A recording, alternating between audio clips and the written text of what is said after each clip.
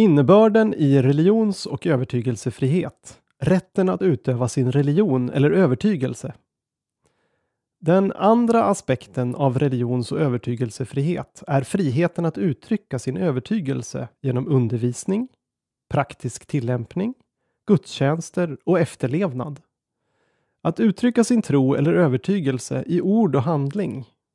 Internationell rätt och mänskliga rättigheter ger människor rätten att göra det offentligt eller privat, ensamma eller tillsammans med andra.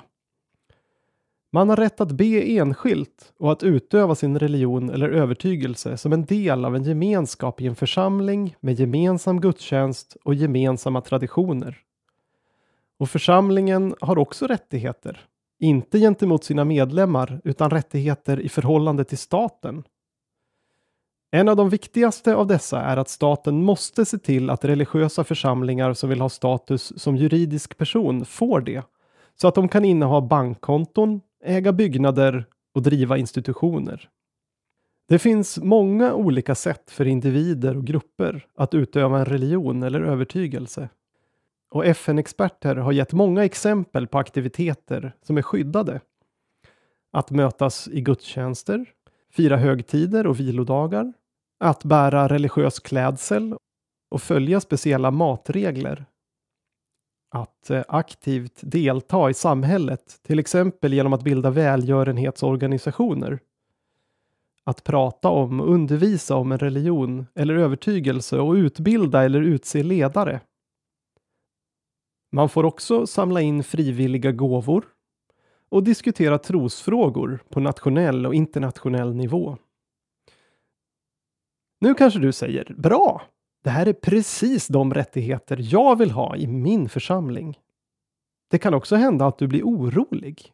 Hur ska vi se på grupper som förtrycker och kontrollerar sina medlemmar eller främjar hat och våld mot andra? Är de fria att sprida och utöva sin övertygelse?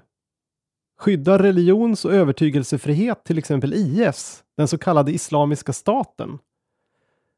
Jag skulle vilja ge tre svar på det. Att utsätta människor för tvång är uttryckligen förbjudet i frågor om religion och övertygelse.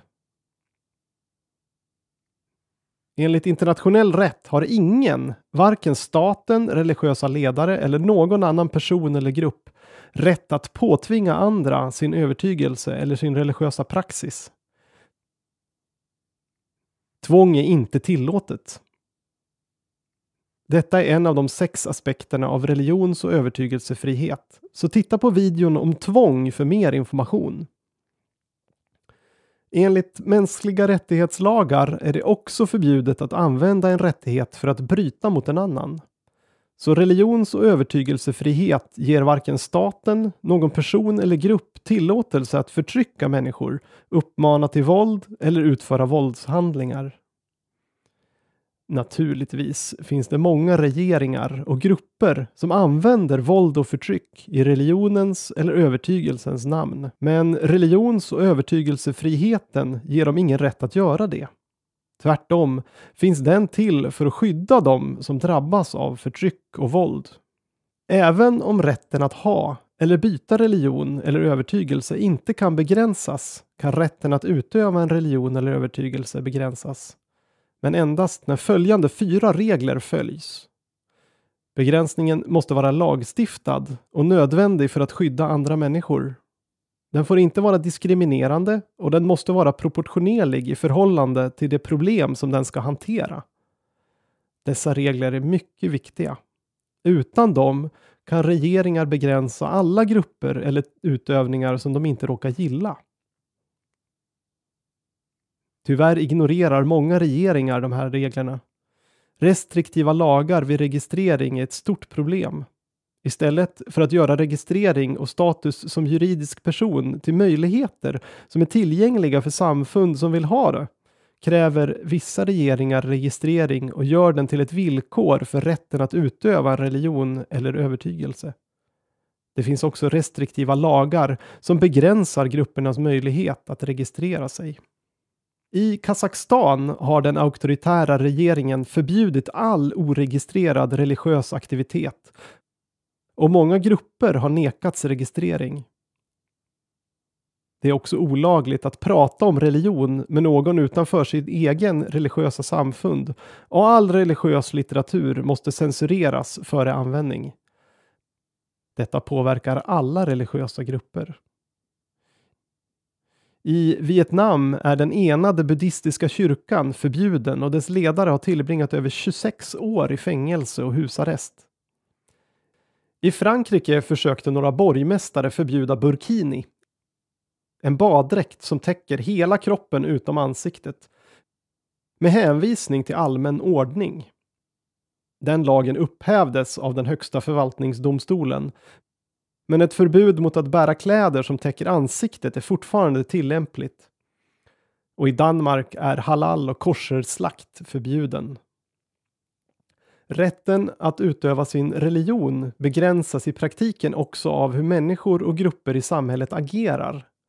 I en undersökning av över 5000 judar i nio europeiska länder uppgav 22 procent att de inte bär religiösa kläder som kippa av rädsla för sin egen säkerhet. I flera länder runt om i världen är människor rädda för att besöka heliga platser av fruktan för attacker från extremistiska terrorgrupper som har anknytning till islam. Medan gemensamma fredagsböner är omöjliga i vissa delar av Centralafrikanska republiken på grund av risken för milisattacker mot muslimer. Sammanfattningsvis Friheten att utöva religion eller övertygelse skyddar både enskilda och gruppers rätt att uttrycka sin tro eller övertygelse i ord och handling. Detta kan göras både privat och offentligt. Grunddokumenten om de mänskliga rättigheterna ger många exempel på de typer av handlingar som får skydd. Och ett av de viktigaste skydden för grupper är rätten till status som juridisk person.